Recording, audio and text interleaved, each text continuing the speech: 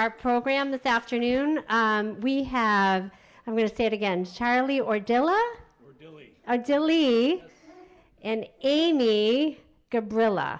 I've got them, I meshed those names. Okay, they're here from Game Sense, and I think they're going to make this program fun. Okay, all right. Thank you. Yeah. but we got some fun stuff for you. Um, uh, just a reminder, as always, um, they're filming for Walpole Media. So if you have a question, make sure you raise your hand so they can bring the microphone over to you so we can hear your question. Okay, am I giving it to Amy or Charlie? All right, Amy. Thank you. Thank you so much. Guys, thank you so much for being here today. And I just want to say straight off, I am so excited to be with you today. This is the first in person presentation we've gotten to do since before the pandemic. So it's super exciting just to be able to see your faces. So I just want to thank you for that. So today, we are from GameSense, and we're going to give you a little bit of pres- presentation on gambling, um, both for older adults and for veterans. I'm assuming we have some, uh, yep, veterans, veterans. Just had a beautiful presentation for them earlier from what I saw. So that's great. Uh, just a tiny bit of background. My name is Amy. I come from a lot of years in the casino business. Um, about 18 years, I worked for the operators. I worked in Mississippi, Ohio, Connecticut, Massachusetts, and Rhode Island. So I have a lot of years in this business. I've enjoyed it all. Uh, I now work for GameSense, so I can come out and talk to great people like you about how fun gambling can be and making sure we keep it that way. And I'm going to pass it on to my buddy Charlie so he can do a quick introduction of himself and then we'll get started. Thanks, Amy. Hello, everyone. Uh, like Amy said, my name is Charlie Erdilly. I am a senior Game Sense advisor, advisor with the Mass Council on Gaming and Health. Uh, my office is right down the road at the Plainridge Park Casino. So if any of you guys are, you know, happen to visit there, come by, say hello. We're always there. Um, a little bit about myself. My, myself as well as Amy, we both have uh, many experience in the business. You know, I'm, I'm a little bit more than Amy, I'm a little older than Amy too. So, um, but uh, I'm also a veteran. I'm a veteran of the United States Marine Corps. Uh, so you're welcome, and thank everyone here who served. Um, I, and so we're going to about get about ready to get started. So here we go.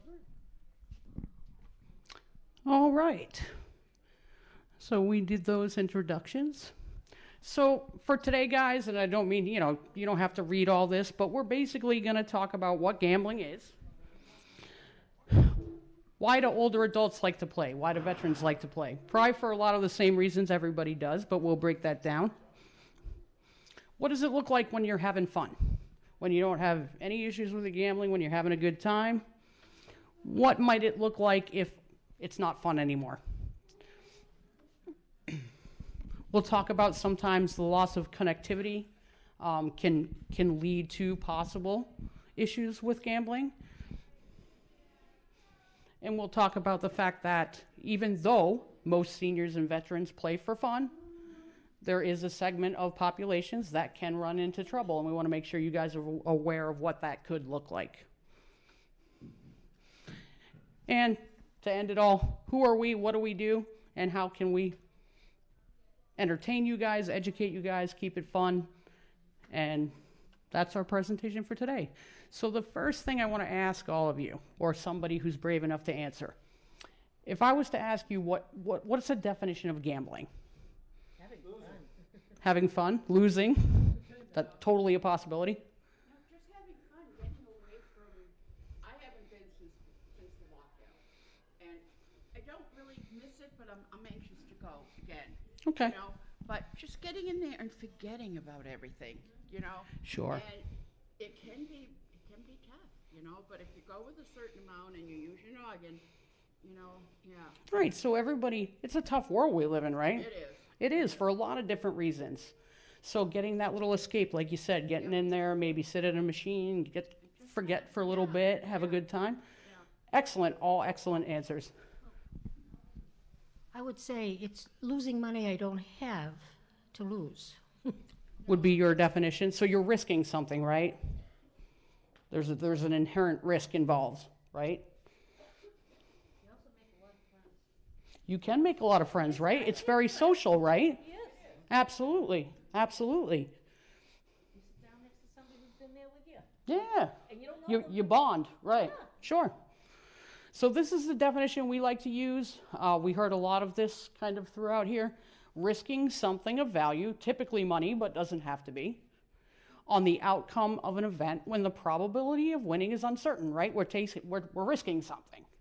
Um, so whether it's me risking my favorite Red Sox cap that uh, they're going to beat the Yankees, that that's important to me, right? The, my favorite hat. So it could be money, it could be anything. But definitely, very good answers, you guys. I appreciate the uh, participation. So there are different forms of gambling. You guys know there's a lot of stuff to choose from, right? Charlie's going to talk to you a little bit about the two main categories. So, like Amy said, the uh, different forms of gaming are uh, chan- first.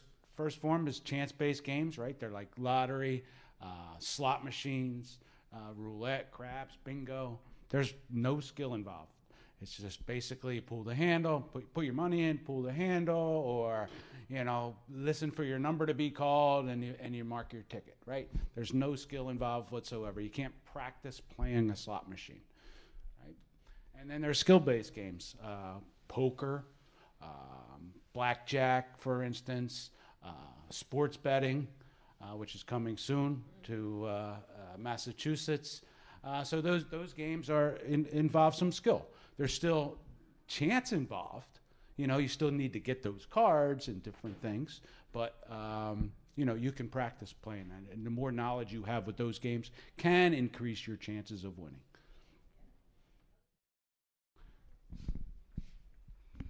So we know from a big study that we did here in the state that seniors like to play. Absolutely, right? So 72% of seniors gambled in the past year. Keeping in mind, guys, the study was done before the casinos opened. So I'm very anxious and curious to see as they do follow up studies after the casinos are here and possibly even sports betting, how this might change any of this research. 32% of seniors gamble yearly, 19% monthly, and 21% weekly. And then, according to this study a Bedford VA uh, pilot study, this was for veterans who b- were being treated for, uh, at the, the center.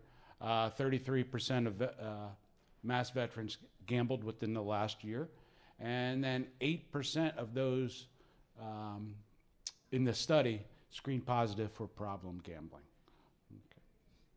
I have a question. Yes. When they say problem gambling, what do they mean by problem gambling? Uh, people that, um, yeah, we're going to get to that, but uh, you know, uh, people that are struggling, uh, that they're having issues with the family uh, because of their gambling, or, or you know, their finances because of their gambling. They're technically not keeping it fun. Okay. Okay, so how many people like to gamble? Even if it's once in a while, maybe hit the casinos or bingo. I'm gonna be looking for you. So why do you why do you gamble? Like what's I, I know you kind of talked about it earlier. Yep, having fun. Somebody said meeting people, kind of like that. Um, getting out of the house, something to do. Yeah. Anybody to win money? Specifically? It's fun to win money. Right. I like the answer though because you said when you win it, right? You don't. The odds. Sometimes you're gonna, sometimes you're gonna, and that's fantastic. It's always a nice surprise, right? That being said, if your primary goal is because you need money, then you might want to just kind of take a look and see. Because unfortunately, I wish everybody could win money every time, right? But that's that's not how it goes, and especially as people struggle during the pandemic, getting back on their feet, this can become an option for folks that might not be the best one. That could be the case too. That could be the case too. So 32% seniors to win money, 27 for that recreation and that bonding, 18% to support worthy causes, so that would be like charity poker or bingo, uh, 15% again to socialize, and four to escape. We heard escape. Um, so these are the, the biggest reasons. And again, all I would say is that money thing, be a little careful, and also the escape. Even though we all do something to escape, right? Well, some people read books, some people go fishing, they play golf, they go shopping, they gamble, maybe they head to the bar for a little karaoke, who knows what people do. Never a bad thing, but if we escape too far in and we do start harming ourselves and the escape becomes worse than the problem we were escaping, we just want to watch out for that. So um, very similar. Vet, why do veterans gamble? Right for the entertainment, like everyone said, to relieve stress. Um, you know, just get away, uh, relieve that stress, blow off some steam, to cope uh, with the transmi- uh, transition to civilian life. Um, that rush, the adrenaline rush, throwing that you know seven on a craps game, th- something like that. Just the, the excitement, um, the escape, like we said. Uh, depression, depressed, just want to get away. Just you know, uh, uh, boredom, nothing else to do, right? Uh, I'll just go to the casino or you know play some scratch ticket, whatever, just because there's nothing else to do. And then again, uh, for money, right? To win money. Uh, so what games do what games do you enjoy playing? Mostly slots. Slots, slots. Anyone else? They are popular. Oh, yeah. Poker, blackjack, Anybody? trotters, right? Okay. The trotters, uh, harness racing, Oh, yeah, yeah. right? So there's so many different forms of gambling. Lottery. I like the poker tables, but, God, you- They don't know, like you. They, they, you know, they used to have two dollar poker tables like at, at Fox's. I bet they don't anymore. I haven't been down there in years. I don't think the poker room is open. Or no, they, I think they just recently, yep, they just recently opened it. Okay. Right, Yeah. but, um, I do enjoy the tables, but Yeah. sometimes you just can't afford them. No, and you, and you make a very good point. You know, it, it's fun to play different games and have a variety, but you're thinking the right way. You might like it, but if you can't afford it because the tables are twenty-five, I can't do. Oh. I don't know, I see people all the time, Yeah, but, you know, with that much of, a- of a bet that you need, that's, yeah. right. That's like the dogs, that's like the dog track. Exactly. Let's go to Wonderland years ago. Oh, That's, yeah. that's Yeah. kind of fun. My Right. granddad used to take me. Oh, yeah, yeah, And, you know, that was back before we got real, you know, yeah. you, you could go in. I think there's only uh, one state or two states now that allow uh, dogs racing. Yeah. Yep. This young man had his hand up. Yes, sir. Uh, I had experience in the Navy. You shoot a lot of craps. Yes, you do. And I got paid one day, and I shot craps, and I lost worse. I lost it all. And so that's my expression goes, once burned, twice shy. I never gambled again. Good for No you. kidding. Good for you. Good for you. Yeah. Absolutely. I needed Stuff- that money, and I didn't have much, Right. What a bad experience. Yep. What would have happened? What do you think might have happened if you won that money on the first time? I'm glad I didn't. Exactly right. You might have been back uh, ever since. Hey, this is easy, right? Yeah, truthfully, And- early big wins for people. I mean, it sounds like it should be a great thing, right? And in, in one case it is. But what it does psychologically is make you think that, hey, th- I can do this again. You know, this is easy. I can hit this slot machine again. And unfortunately, it's not. You know, take those big wins when you get them, but You Look see a at lot it. of college kids do that. Exactly. Eh, like, Especially down at Twin Rivers, I think it's gotta be 18 over. eighteen. 18 years old. You Yep. see kids down there and, you know, here I am with my sixty cent bet in the machine, four dollars, five dollars, and I'm going, are your parents paying this or what? I mean, where are you Right. getting the money? Yeah. Oh yeah, I saw kids Yeah. from the local colleges. I, I was a dealer down there for a bit. On roulette games, betting hundreds of dollars. Yeah. Yes. Yep. Yes. You wonder, where, where was it coming from? Yeah.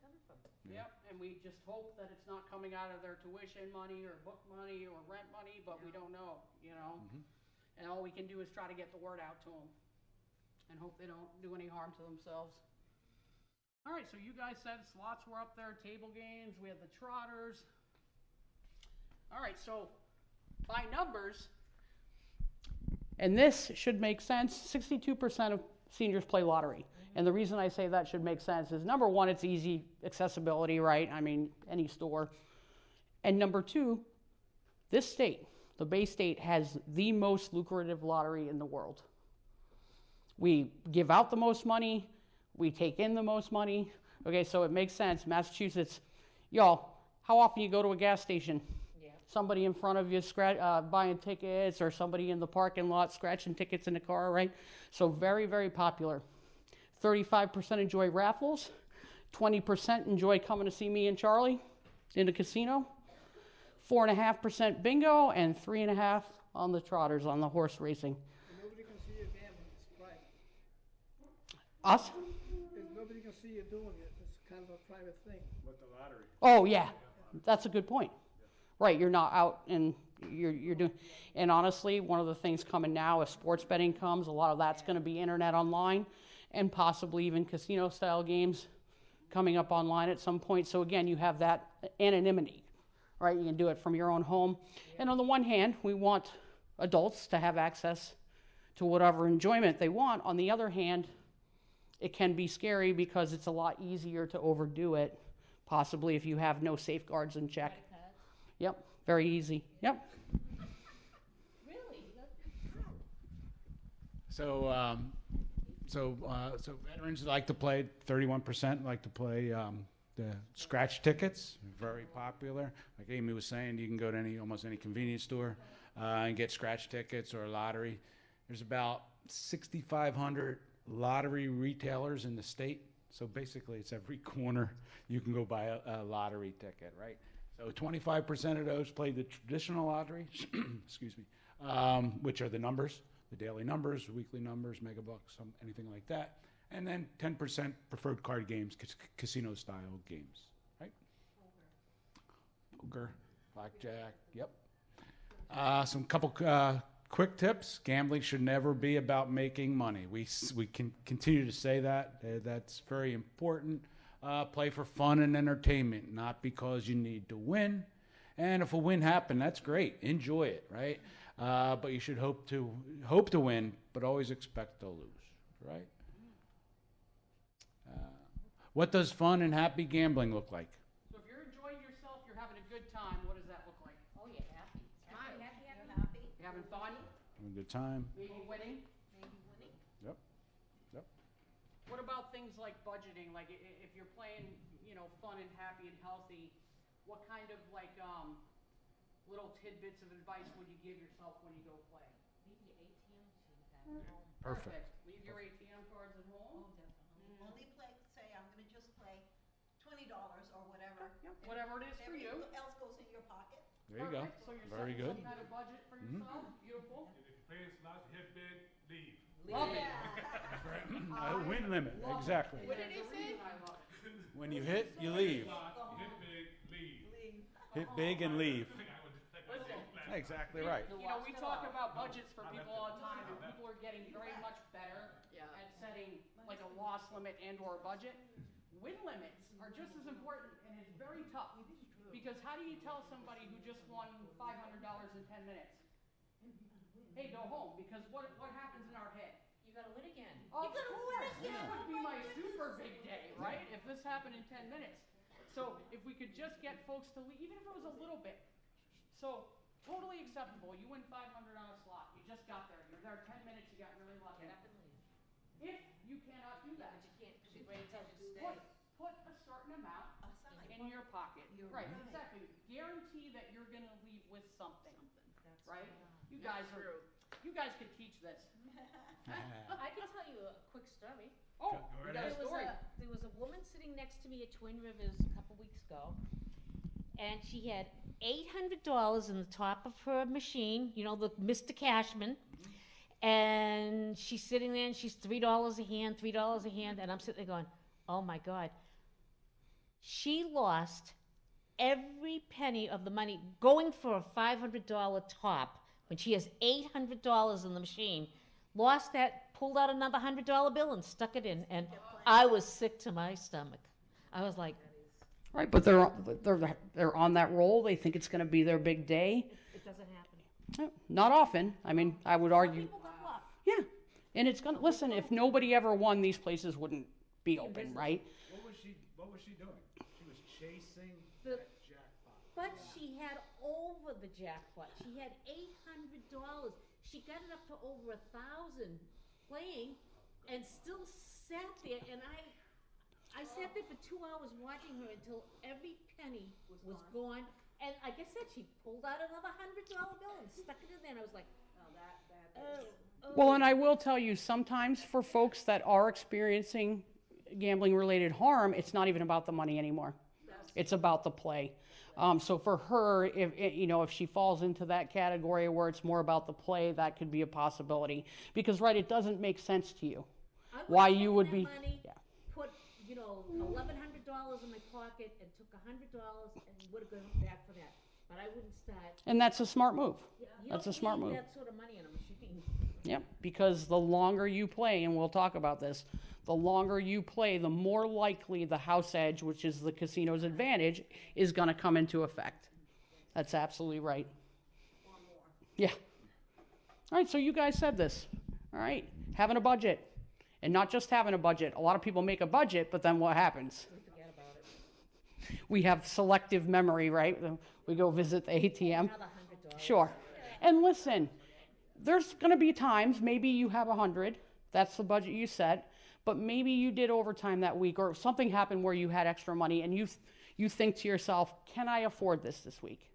And maybe you can, and that's fine if you're not doing any harm to yourself. But always have that conversation with yourself honestly, and try to stick with that budget.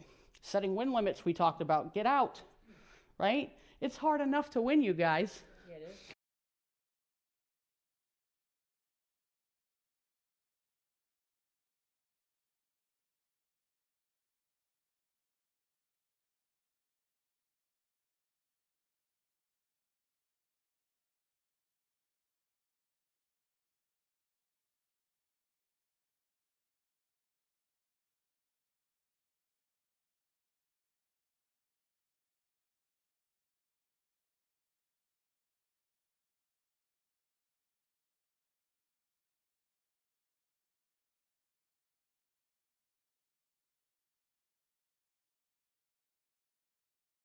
gym. If we become too obsessed with it isn't necessarily a good thing right? Everything balanced in life. You guys are great. And i didn't hear this one taking breaks. Now that's assuming you're in the casino for a decent amount of time or you're gambling or whatever you're doing. Make sure you keep that mind charged and that body. You can't get off that machine. It's gonna hit. so we have an answer to one of our questions coming up you're too sm- well, what's your what's your name my friend Barbara. Barbara, we're going to take you on our next tour. Yeah. But here's the thing over 63% of seniors gamble recreationally, absolutely no problems. And then another significant chunk don't gamble at all. So there, uh, yep. So there's only a very small amount, you know, that we want to be kind of looking at and make sure they have the information. All right, I'll let Charlie take this guy. So we got a, we have a guide here to fun and healthy gambling. So balance, right? Keeping gambling in balance with other activities and priorities and responsibilities. Like we said, there's other things to do. Informed choice, exercise informed choice over gambling. Understanding the associated risks and knowing the likelihood of winning or losing. So know what you're playing. Know you know know about that slot machine. Know you know the you know which good table games to play uh, as opposed to a I don't want to say a bad table games to play, but your odds. You know, roulette, for instance. You know, it's like, a, you know, it's over a five percent house advantage. Blackjack, it's only a one percent. So you know, if if you're you're a little knowledgeable, you kind of you may want to play you know the game with a lower house advantage. Correct. And then control, staying in control of the gambling uh, through self-regulation, knowing when to stop, knowing when to take that break, get up, go. Enjoyment. Uh, we keep saying that. Keep it fun, because if it's not fun, i- it could be it could be a problem, right? And then harm free. The absence of gambling related, related harm to yourself and to others. So, if someone has a, a, a gambling problem or is at risk, um, that problem does not only affect the gambler, it could affect their family, uh, their finances, you know, they're not being able to pay the rent. It could, you know, affect their business if they own a business.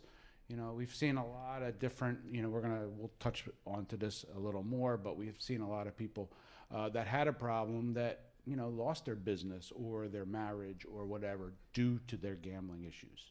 You know, a lot of times people say, uh, you know, I have, um, you know, I have a financial problem. Well, your financial problem was from your gambling problem. Is you know, so. Uh. The good part, because just so we're all clear, we didn't tell you guys this, we are gaming neutral. We are not here to tell folks not to play. We're not here to tell folks to play. We are here to suggest that it is a perfectly legit and fun activity, and we just want to make sure you stay having fun and have a positive relationship with gambling. So there is a bright side.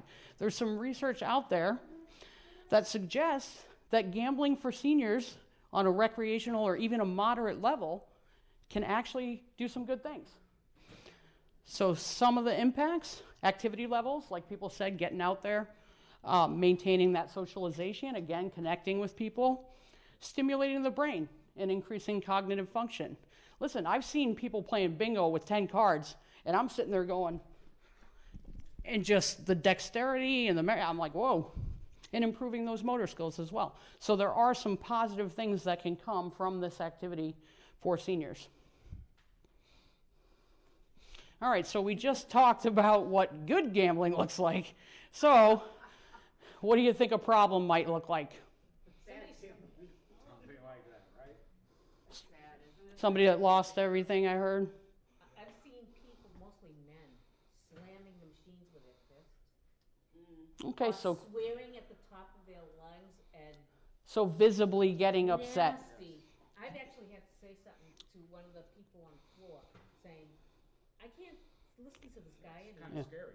Sure. Scary for you. You never know if It's gonna come out and threatening. smack Right, sure. You know, it's like And obviously something's going on in their head with the with the gambling that's causing that that strong reaction. I've seen, uh, you know, I was, my last operations job was at Foxwoods. I was there for almost 30 years, you know, as a casino manager. I've seen players, uh, players with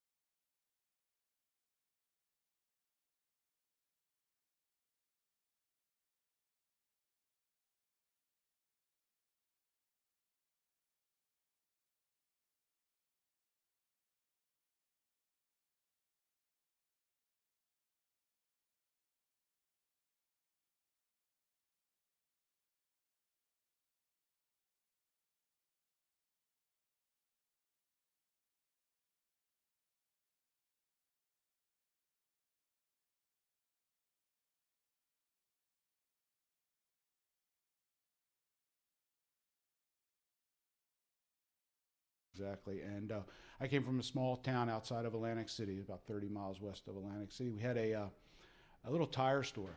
Guy owned a tire store. Had you know it was his family's business. His father had it, and it was like one one or two bays. They got it up to it was like six bays. He had 20 employees. Four years after Atlantic City opened, he lost everything.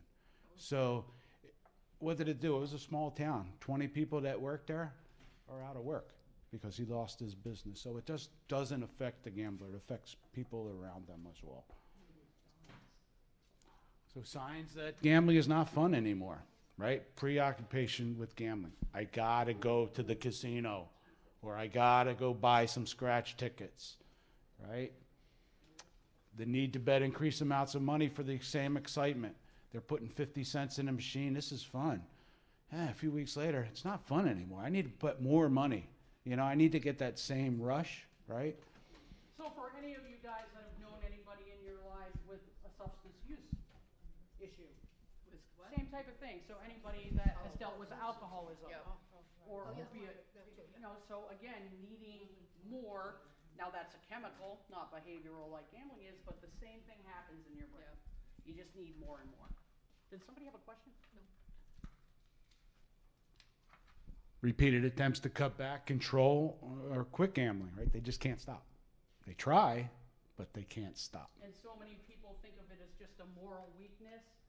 We know now that gambling affects the brain in the same way that substance use disorders do. All right, so it's not just a matter of you're just not strong enough. It's just gambling, just stop and you're, you're good, right? Uh, it's, it's unfortunately not that simple. It's adrenaline. Yep. Gambling to ex- escape negative feelings or emotions, like we said earlier. Again, we're not necessarily talking about, God, I just watched the news tonight, I gotta go, I'm gonna go play a slot. We're, we're talking about really, really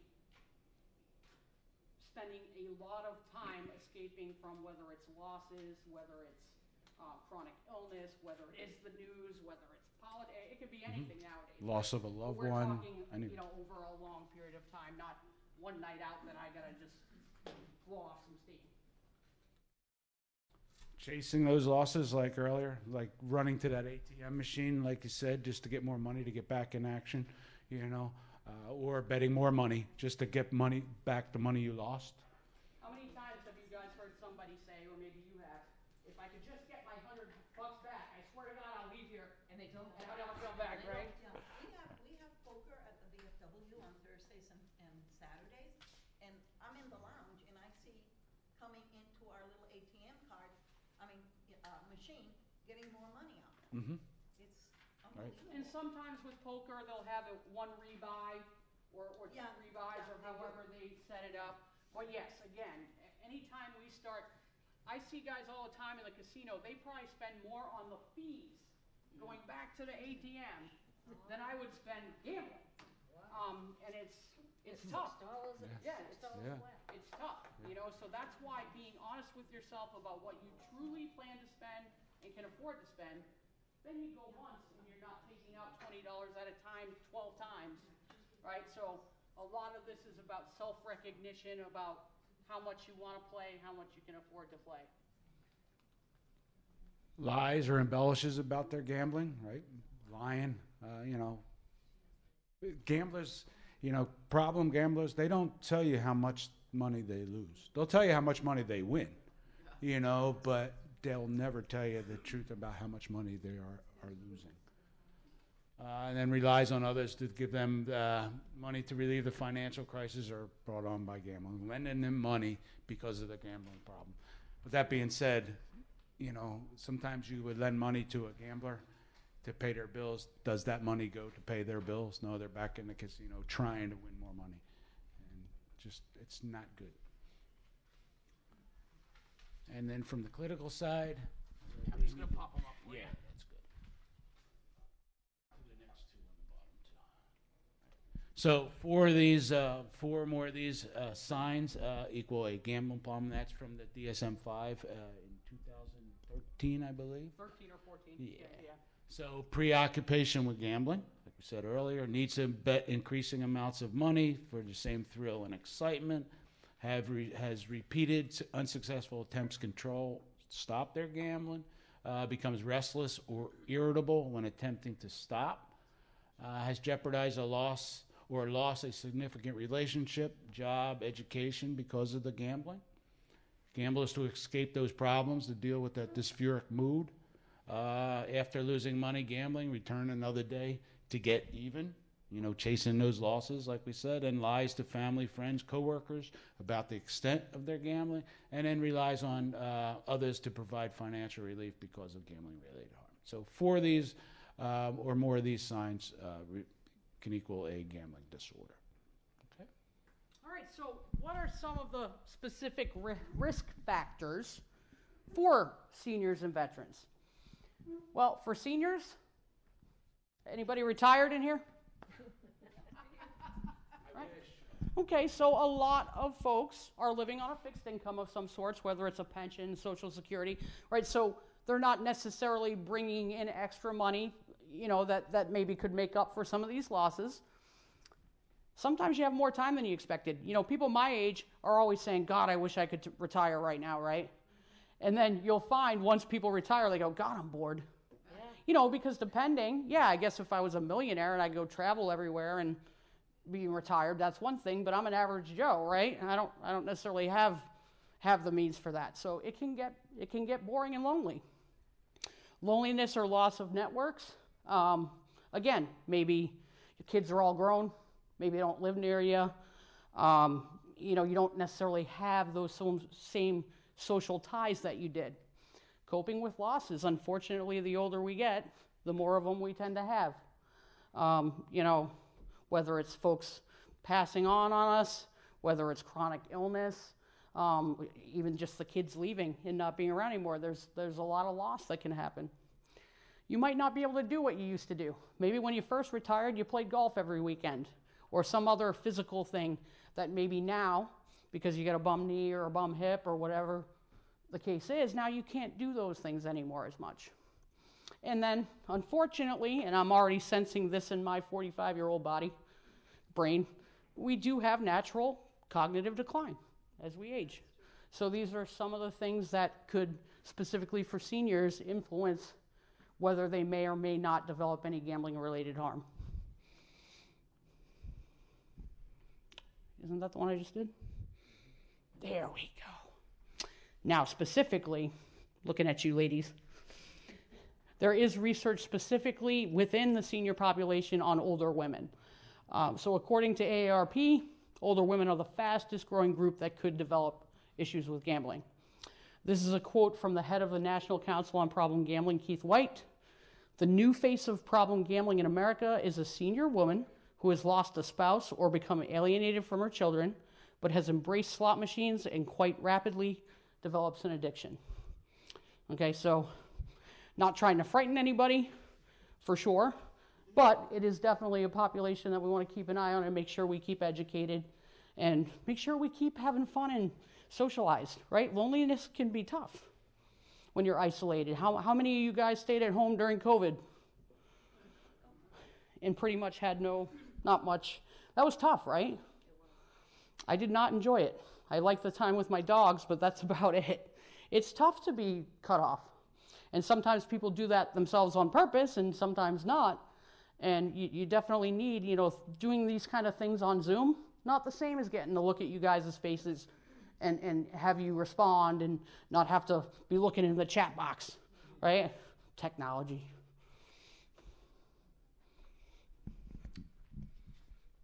So some risk, uh, veterans at risk, males, right? Number one, uh, individuals prone to risk taking or sensation seeking. You know, after being in the military, you know, you you do some, you know, you're you're you're at risk basically. You're you're doing things that are, uh, you know, exciting, um, you know, fun, stressful, dangerous. You know, uh, you're used to those things. Uh, individual who use substances, like Amy said earlier, you know, uh, and then also uh, those who experience depression, stress, and post-traumatic stress disorder, right? That tra- trauma, uh, you know, can lead to um, a gambling, you know, disorder, just like any other. Uh, like uh, trauma can also lead to addiction on, um, you know, drugs or alcohol or anything like that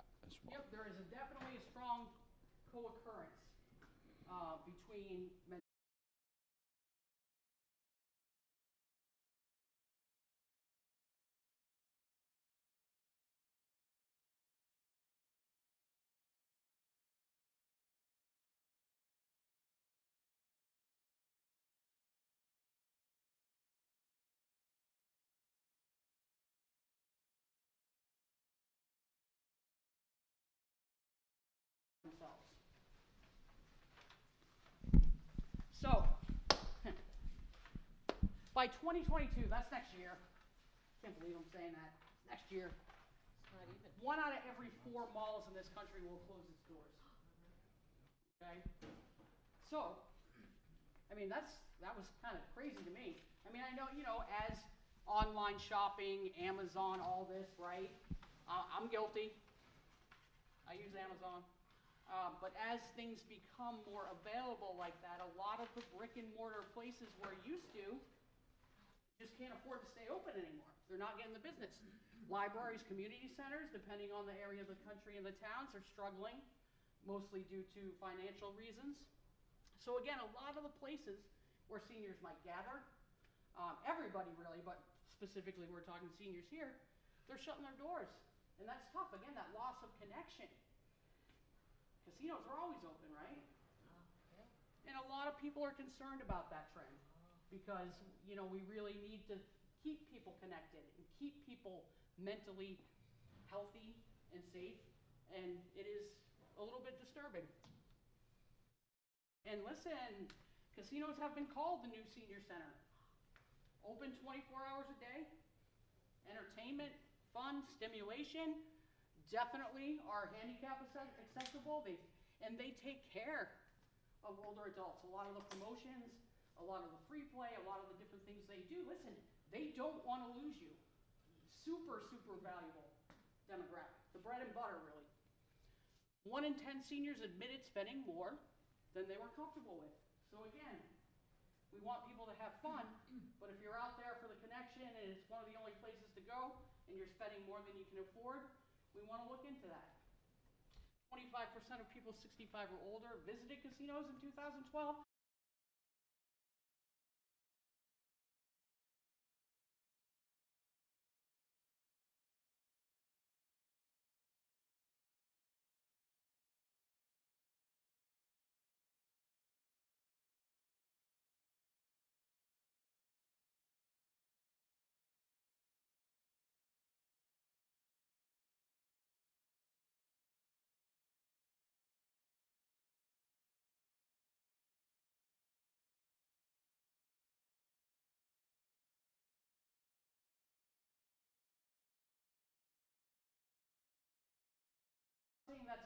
Thing, but you already have people that have been isolated.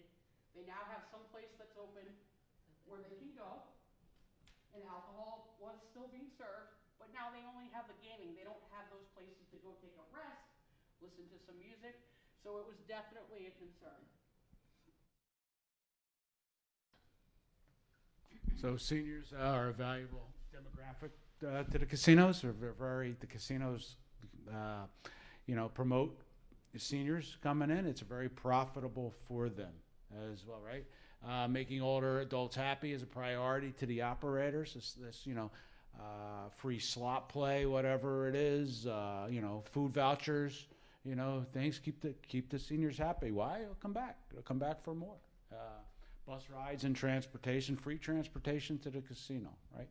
Uh, you you know, the free, the, the free bets, the, food vouchers, and then also the giveaways. You know, you come in on, you know, at, you know, 3 p.m. on Tuesdays, you know, you're eligible to win that 200 maybe.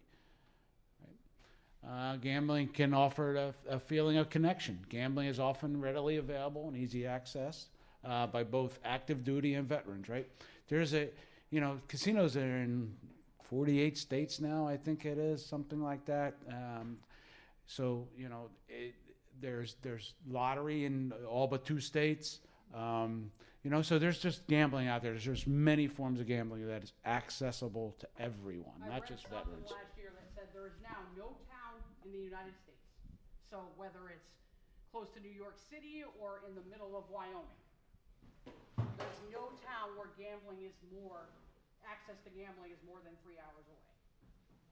Right, so, yeah, it's here. And then most veteran-centered establishments, the VFW, there's, you know, lottery, poker, Keno, all right?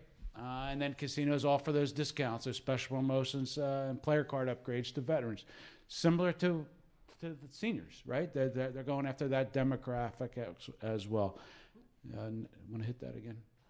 And then these two are uh, couple promotions uh, actually coming up uh, in Ocean Casino in Atlantic City. For instance, you know, veterans come, show their card on Veterans Day, they get free food, you know, discount uh, rooms, different things just to get them to come on in, right? It doesn't cost the casino any money to do that, believe it, you know. And then, did you know that veterans are twice as likely to develop a gambling uh, disorder than the general population? what do you guys think that is? Any ideas? Any thoughts? They may already have a, a, a little bit of an issue because of the service that they. So some trauma from the they- service right, or? that they- Exactly. Sure. Exactly. Very good answer. Yep. Very good. Yep. And then the, the, the prevalence with problem uh, of problem gambling in veterans, uh, lifetime prevalence rate uh, range from two percent uh, in veterans seeking any care in a VA facility to twenty nine percent to, uh, to veterans seeking P- PTSD uh, uh, treatment. That's a huge number. That twenty nine percent. And again, it's the trauma, you know, uh, that they, they, they did throughout their life. right? And then the prevalence rates of gambling problems among veterans receiving VA health care uh, were two to four times higher than the general population, like we said. Female and younger veterans were at even a higher risk, you know, so. uh, So we mentioned this a few minutes ago, just a little bit, but again, what can cause the brain to become more vulnerable? Well, we said it a few times already trauma, all right? Experiencing trauma or past violence. Uh, and that can mean a lot of different things to a lot of different people, whether it's somebody who experiences that trauma from active military duty, whether it's domestic violence, it can, it can be any different amount of traumas. Prolonged experiences of stress or anxiety, again, can be due to any number of things for you individually. And then chronic pain and injury and illness certainly, certainly um, can have an effect on people. So, all these different things, that's why we say those co occurring things when you have those mental health issues, when you have substance use issues that stem from a trauma, the gambling can come into play. And you're right, that is probably partially the reason why veterans are twice as likely. And then again, older folks dealing with loss, same thing.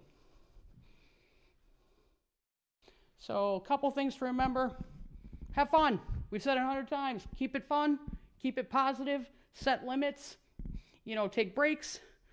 Like everybody said, you come in with what you can afford, you have fun, you go home, live to see another day. Can have beneficial effects, like we said, from cognitive function, uh, motor skills, keeping socialized. However, older adults and veterans do have risk factors. Social trends can influence that. Again, we live in an internet world, right? So a lot of things are changing very fast for all of us. Yes, my father was, uh, he, he was a Marine in World War II. And when he came home, of course, he got married and had children, but it was later in life he suffered his PTSD. And you know what? That's when he started gambling. Oh yeah, During- that period of time, during his PTSD. interesting. So it was like delayed, Delayed. by a but lot. It did happen. and then hmm. Now is that the first time you came to that realization? Like, did it just occur to you? Just now, yes. Interesting. Interesting. Yeah, absolutely. Absolutely. Um, so those traumas do matter, whether they're immediate or sometimes folks bury them for a long time and they come out later. Older women are particularly at risk. And again, the signs of problematic play are exactly the opposite of healthy, not setting limits, not setting budgets, chasing losses, you know, having it interfere with any part of your life that's important, whether it's family, friends, occupation, school, any of those things. All right, listen, do you guys want to take a quickie? I know we've been talking for a little bit. The second part of this is not nearly as long as the first, but if anybody wants like a five minute bathroom break, no, you guys are like, heck no, we're fine. Yeah? All right. All right, so the second part of this is going to be a little bit about us and what we do and, and how we can uh, connect with you guys and keep this fun and safe. So, GameSense, we are, like I said, a gambling neutral, responsible gaming brand. Again, not for or against legalized gambling. We all come from the business. We are mandated to be in every Massachusetts casino. So, when they pass the law, be in every Massachusetts casino. explaining the game programming and structure, uh, how do games work. You know what you know what the odds of different slot machines, what you know the bonuses mean, and different things like that, uh, like the education gods, uh, the odds, and the including the house advantage, uh, the house edge. The house edge is you know the edge that the house has over everyone. All those games, there's a house edge. You know, some are bigger than the others. Like I said. Um, you know, Keno, for instance, it's about like 48% house advantage, right? It's fun, right? And it's Fun. available. I play places Keno. go, right? Sit down and have dinner. Yeah, And you're exactly. If you're playing ten bucks, you know, if you're playing what you you can afford when you Yeah. have dinner, that's great. Yeah, you know. But if you ever do hit something good on Keno, count yourself lucky. Can I, can I ask you a question? Yes, sir. Do some of these casinos, do the people that run the casinos, do they control the machines?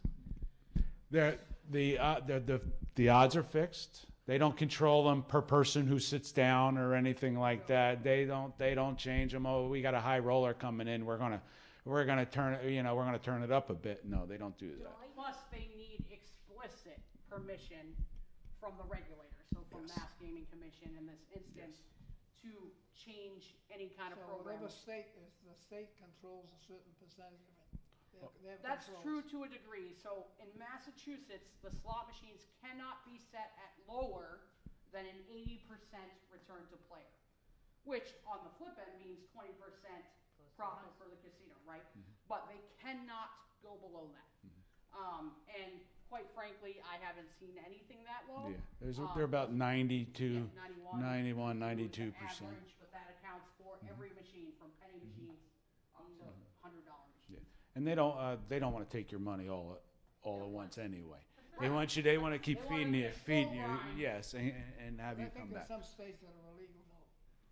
I mean, it's possible, I Out- out- cannot out speak the for west- other out the west. jurisdictions, Yeah. you know, um, but I will tell you this, casinos generally don't wanna mess with regulators, because here's the thing, every game in the casinos has a house edge. They are going to make money on every single game in there. So, Exactly right. if they want to try to cheat or try to maybe skim a little bit more off and they want to try to get away with it, not a very good idea because the possibility of huge fines or getting shut down when they're already going to make a profit just doesn't make sense. I'm not telling you it's never happened, Yeah, yeah. um, but it wouldn't make a lot of sense. Right? It would be like you trying to do that if you had a business that was making millions or billions a year. Why would you? You're good if Nice you're one, doing. yeah. Yep. You have people that believe that the machines, uh, o- of course they're computerized, but there are people, I've heard people say, oh, well,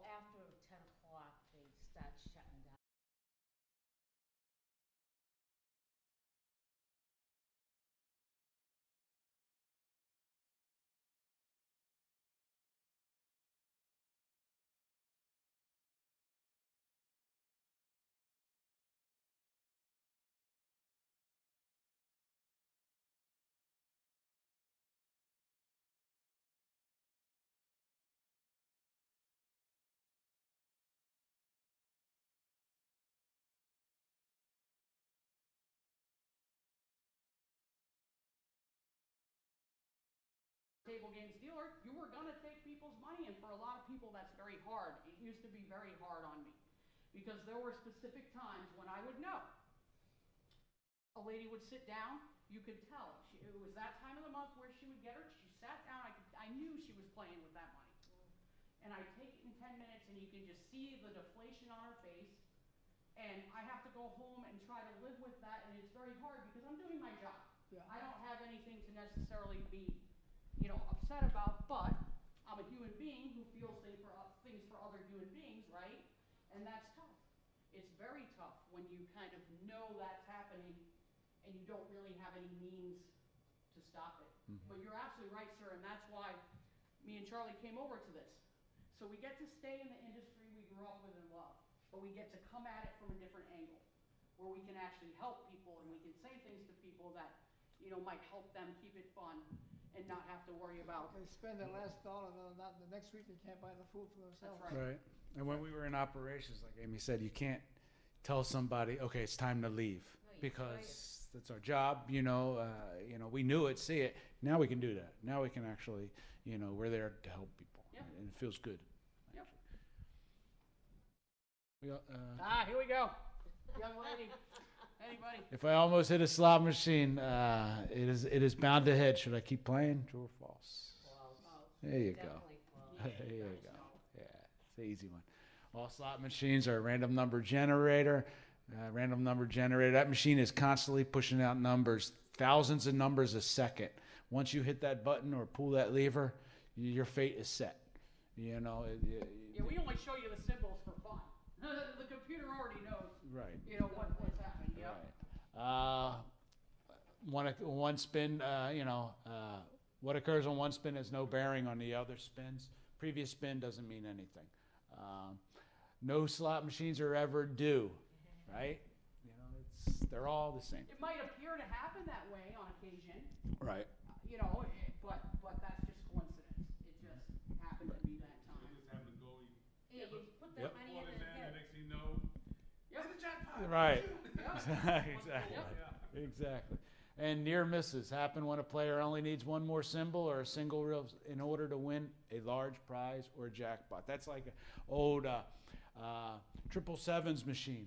You got a seven, you got a seven, and then you got a seven right up here. Darn, I was so close. Let me put some more money in to try to, you know, because I'm going to hit this time. Doesn't work that way. Means nothing. You're no Means further ab- away either. Right. You're not closer either. Right. Just let that one go. If you want to keep playing because you can and you can afford it and you're having fun, do it. But that kind of thing means absolutely nothing for you being closer. Exactly. Uh, and then we also encourage people. Uh, Game Sense uh, aims to encourage people to develop and maintain a healthy, fun relationship with their gambling.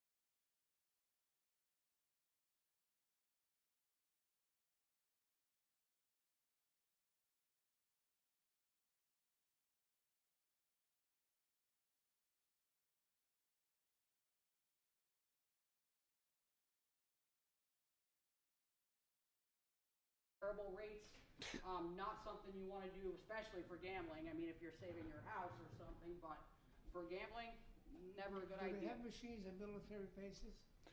Uh, overseas, they do. Overseas. Overseas, they That's do. Absolutely. a whole different. Yep. I actually got to lobby on the Hill, what, three years ago, Mhm. two years ago, um, for a, for a bill that want. So, the short story is yes, there's machines on overseas bases, and yes, the government makes a lot of money off them. But then when guys, when our military gets home, we don't provide any help and resources for issues they may have developed playing overseas. And there's not a lot of So study. that bill was kind of talking about that. Yeah, But there's, yes, n- absolutely. there's not a lot of studies Because done. what happens in the military, a lot of, ti- I mean, sometimes you're in some pretty crazy, scary action, but mm-hmm. what are you doing a lot of the time? Downtime, right? Downtime, right? Yep, So downtime. what are you gonna do? But sometimes what it affects the wife and the children, they have, they don't have any food then. Yeah, exactly right. That's the sad Like part. we Yep. said, gambling problems don't just affect the individual, it could be the family, the, uh, the employer, uh, the person who, the, the landlord, uh, the community. Mm-hmm. Yeah. It could be any number of folks. But there's so many, you know, there's so many. Don't even in the United States, you don't really even need slots on a on a military base because True. you go right down the anymore. road. Yeah. In in uh, for instance, in Groton, Connecticut, the sub base in Groton, right? It's five miles, four miles from Foxwoods, right? So Yep. exactly for same thing across the river is Mohegan Sun. So it's we're all very close. Yep. Um, plan how long you would like to play uh, before you play, uh, before you start, and then set those time limits, right? You know, have a plan when you go in. You know, I'm going to play for three hours. You know, that's my plan for the day. Win, lose, or draw. I'm out of here. Um, take those frequent breaks, right? Get up, clear the head, get a cup of coffee, get a beverage.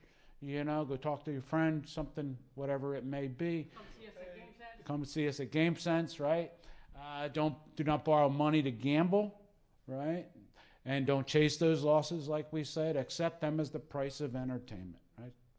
Uh, and then balance gambling with other fun and leisure activities.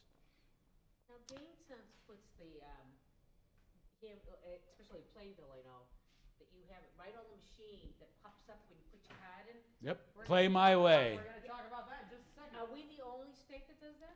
Yes, in the United States. This, this is, that's that's a program. It's a big program in British Columbia.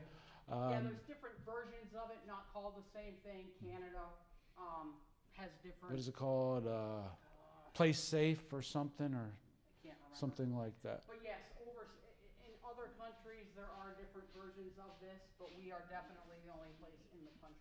Mhm. that has it, and we're gonna talk about it in just a second. Yep. Ah, just a second. Second, see that's uh, so. Uh, so we also promote. We have these different tools. So GameSense aims to offer programs that allow us players to make informed choices, stick to them.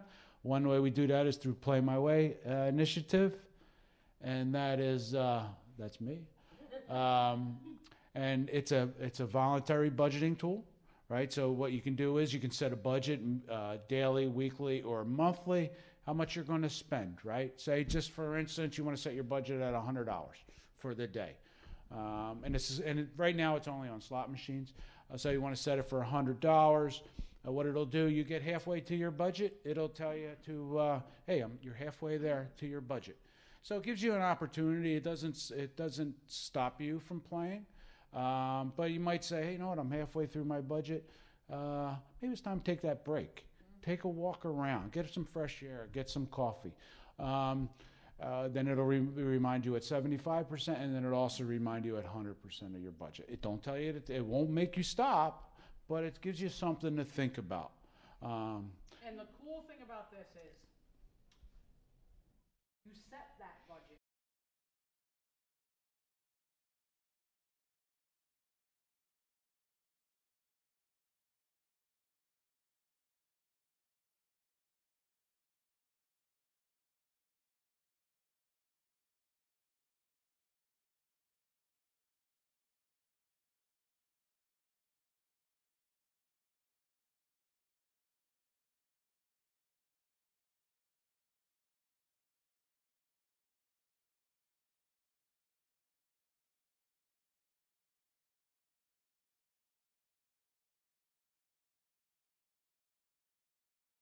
You come to play, well, it's going to be soon to be at uh, MGM Springfield, which hopefully by the end of the year, early January. Um, but right now, if you come to Plainridge and you want to sign up for that program, we give you a five dollar food voucher from one of the restaurants at uh, uh, at Plainridge uh, to- for signing up. And what do we have now? We gotta have, do you have any idea how many people we got? It Should pop up. Twenty five. Oh no, it's not going to pop up. Yeah, we have about twenty five thousand people signed up. Springfield gonna, is it open? MGM in It, this Springfield? casino's open, absolutely. Oh, okay, cause I had heard something No. back when that it was, they were gonna change hands or something. No, they're open. They're they just actually just opened a poker room the other day. They're pretty much full swing Yep. right now. I love the decor. Yeah, if you Yeah, end it's a up nice down- if you casino. end up down there, please stop and say hi. That's where I'm out of. Yep. Yep. Like Amy's is. Yep. Well, actually, when you get off the elevator at uh, MGM, Amy Center is right to the left. Uh, definitely got stop by. out. We do basket raffles every month, play little games. Yeah, if you're ever in the area, Yeah. stop by. It's Springfield. Oh, Yeah, I've been to that one. a little Oh, bit out there, but Yeah, that's, yeah. pretty that's- cool. I haven't been. Yeah, that's right. What town are you? Well, I'm How is it- personally inviting you if you'd Thank like to you. go. How is it actually doing for the community? They actually just, I'm not gonna quote it because, even though I've heard some of it, because I don't remember exactly. But the big study that we've taken some of this from, they just did a follow-up. It's called the Social and Economic Impacts of Gaming in Massachusetts. And they did for the three towns, so for Plainville, Springfield, and Everett, Everett. they did do a big research project on what the impacts so far have been of the casinos being there. So everything from, you know, rental prices, traffic, uh, you know, all. Crime, Crime, all employment, different things. anything like that. Right, both the positive and or negative. But- Again, businesses, I they don't get- wanna quote it, but I believe Yep. if you go to the SEIGMA site, which is done by UMass Amherst, it's S E I G M A. I believe they have at least executive summaries Yep, of yep. that stuff up. What town are you in? I'm in Springfield. Springfield. Yep. Yep. Yep. But good question, but yes, there is info on that and they are definitely tracking it to see what impacts the casinos have had. Yes. The economic development there must be, mm-hmm. must be good. I mean, I've been there and I've seen the area that was revitalized. Right. Yeah, there's sh- restaurants opening around there and different things going on, and About the crime. yeah, Right. Just don't go walking at night by yourself. anywhere, Anywhere. anywhere I, really. I can't say that. Plainville and, if you open at night, you open at night. right? No, Right. it's, n- yeah. But So- yeah, they are definitely tracking. Uh, Massachusetts, definitely, we have a very, very robust, you know, the gaming commission wanted to make sure that we were really paying attention to how this affected everything in Mass, Yeah. from, from the citizens to the business, Yeah. to, again, the crime, the construction, Yeah. everything. And the only thing I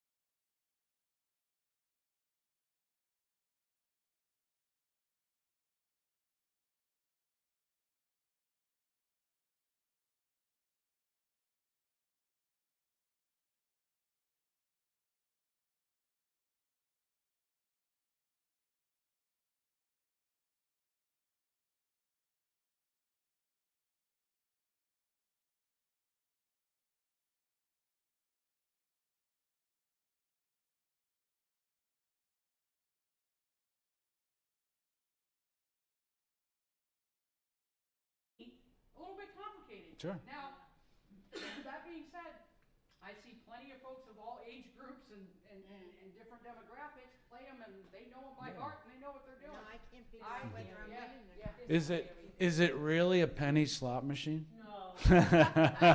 It is not. Exactly, exactly, right. You can't even pay a one penny on a penny slot machine. there are people that do, and I sit there and I go, There I don't is, I don't know. if There's a couple. I don't know if Couple they're at Cleary anymore. Park, I don't know if they're Yeah, I don't think they do them anymore. buy, one penny. Yeah. Oh, you're welcome. Do you say uh, casinos are, are safe now as far as COVID? Because I haven't Yep. been with one since. Yep, uh, I think so. I mean, we've been in, Yeah. the- we've both been in there Yeah. since Do July people of have to twenty wear masks? um, s- uh, M- MGMs, they have to still have to wear masks. The patrons do not, the employees. Oh, okay, so, Springfield um, if you're vaccinated vaccinated, last week. if you're vaccinated, you do not have to wear a mask. Anyone unvaccinated, uh, you have to wear a thing. I would So, say just be. we got something Yeah. before you, before you leave. do. Just make sure you're washing your hands, you got your sanitizer. Well, That- Mayor, I've been back since it started, since they started opening. Really? Yep. And I've been to Foxwoods, I've been to Mohegan, I've been to Plainridge, and Cambridge sometimes. Yeah. it's fun. That's how I haven't been there. I went to Enfield It'll be two years in March. a couple of times with my husband. Yeah, please, if you, if you- you know, if you have the means and you wanna go have a little fun, come by and see us. Thank you. I'm supposed to be somewhere too. I'm like, It was, thank you so much. you're welcome. Very good insight, good questions, appreciate it. So, um, you got this? So one of the ways that we support, and you know, this is tough because this means people are experiencing some harm, which we never like to see. But we offer what's called the voluntary self-exclusion program, and, and we are the ones that will administer that paperwork with folks. Um, so basically, what this means is they want to take themselves out of the casinos in Massachusetts for a certain amount of time because they've recognized at this point that this is causing them issues. They want to take a break. So again, folks like me and Charlie will walk people through this paperwork. If they decide it's time to take a break, it can be completed at the casinos with us at our centers. It can also be at a selected off-site location possibly if folks don't want to come to the casino, or we can actually do it remotely now. Uh, we can do it via a Zoom platform, 24 hours a day. So if people need the help, we're going to make sure we give them as much access and make it as easy for them as possible. Um, and again, we don't want to force people to come into the casino necessarily to do it, right? Because that could be a trigger. You know, we certainly don't want somebody to come in with the intention of doing an exclusion, but they stop stop off first at a slot machine, spend 500 bucks, right? If this is what they want to do, we want to make it as easy as possible. So once they're enrolled, they cannot gamble at any casino in the state of Mass. So right now we have three. If we decided to build another one and it fell during their time of exclusion, they also would not be able to gamble there. This also would include the racetracks and parimutuel. So right now, what do we have? Raynham, Suffolk Downs. Yeah. Yeah. Is it? Oh. I'm not. sure. yeah, I think so, but I'm not 100. percent But anyway, it- would be where parimutuel is as well, and also any affiliates of the casino. So Penn National Gaming runs Plainridge Park. They don't do a single casino exclusion. So if you're excluded from one Penn property, it's all of them um, nationally. So you know, we certainly let people know if you're going to go on vacation, if you're planning on being somebody somewhere, definitely check on that. Um, it's the same for Wynn. MGM has a slightly different policy where you can't gamble in mass. You can gamble at their properties out of state. You're on what's called a self limit list. I won't even bore you guys with that one. If you do ever have any questions about it, though, please let us know and we'll get into it. So, how it works, they can enroll for one year, three year, or five years. We do offer a lifetime, but they have to complete one of these other terms first, right? Because we don't want this to be a mistake for somebody. What happens when you lose a lot of money at the casino? How do you feel? Depressed.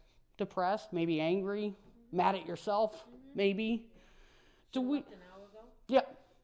Do we make real good decisions when we're upset? Some people can. I'm not real good at it, right? We want people to be in a level spot. Um, so a lot of times, if we're dealing with somebody that just lost a lot of money, they're really upset. They're going to say, "What? Get me out of here forever. I don't ever want to see this place again." Right? They took my money. right. So we want to make sure, yes, if somebody wants an exclusion, we want to do that for them, but we also want to make sure they're doing the right thing for them at the right time, that they're actually thinking about what's realistic for them and what's going to work.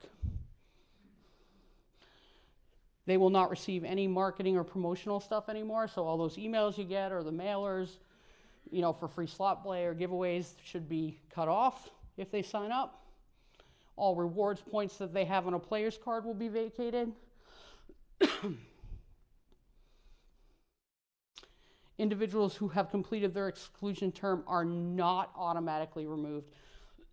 Charlie, can you take? Sorry, I got a little.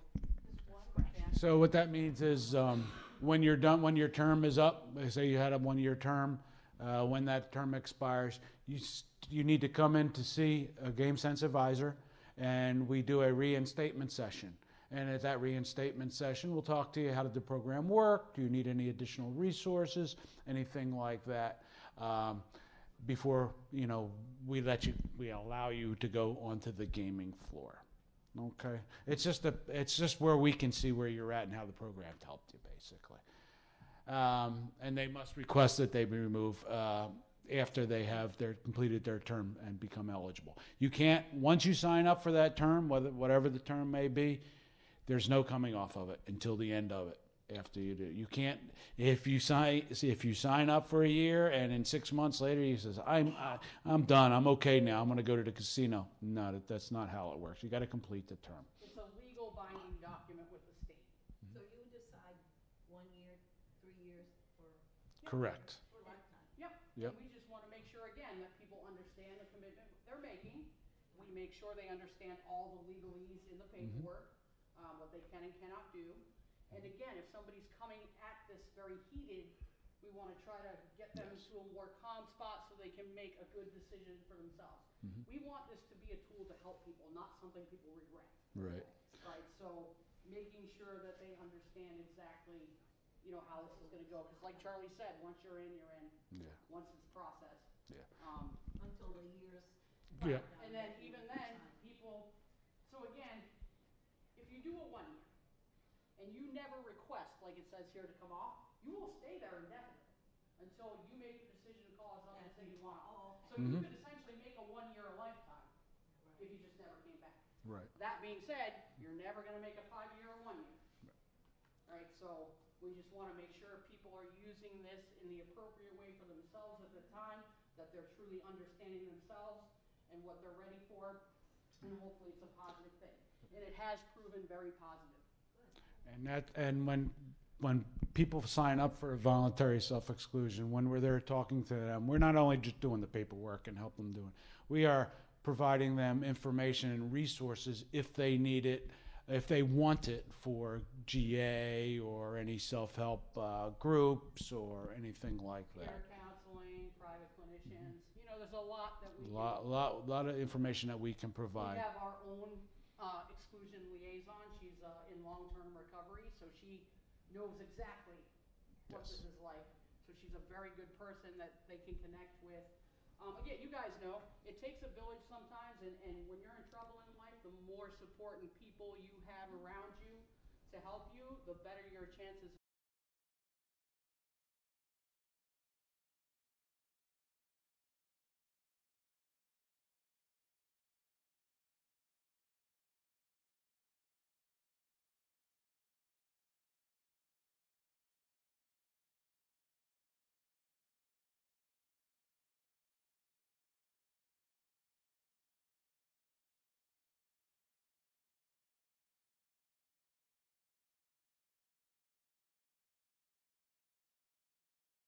you, know, you fall off the wagon and decide to go to, now I'm going to sneak into the casino. What do you think happens to you? Massachusetts, there's nothing.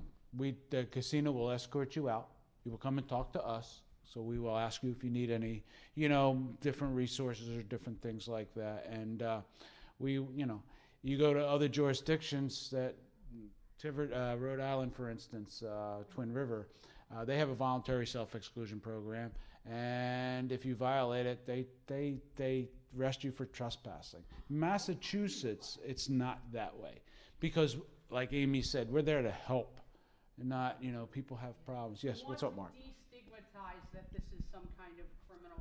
Listen, Right. folks are reaching out for help. We're not all perfect, right? I've tried to. I've been trying to lose these 30 hamburgers for a long time, right? It's not easy. Uh, you know, but when people, you know, want resources help, we want this to not be a punitive issue. We want this to be a public health issue where we can connect folks to what they mm-hmm. need. So in Massachusetts, like you said, no criminal trespass. Nobody's gonna be mm-hmm. walking out in handcuffs. That being said, the operators do reserve the right to do an involuntary exclusion, like banning you from their property, but again, no criminal, Right. no criminal charges. Now, now, how they, how do they know, say you sign up for it, right? And it's like, no, I'm going in. So how do they know that? Well, Yeah, but if you don't use You- the card. if you don't use a card, there's still everybody who goes to get the voluntary self-exclusion. What do we do? We take their picture. Picture is shared with the casinos and the, and the regulators. Mass picture is shared with the casinos and the, and the regulators, Massachusetts Gaming Commission. So surveillance is very technology. You're talking. There's a lot of technology up there.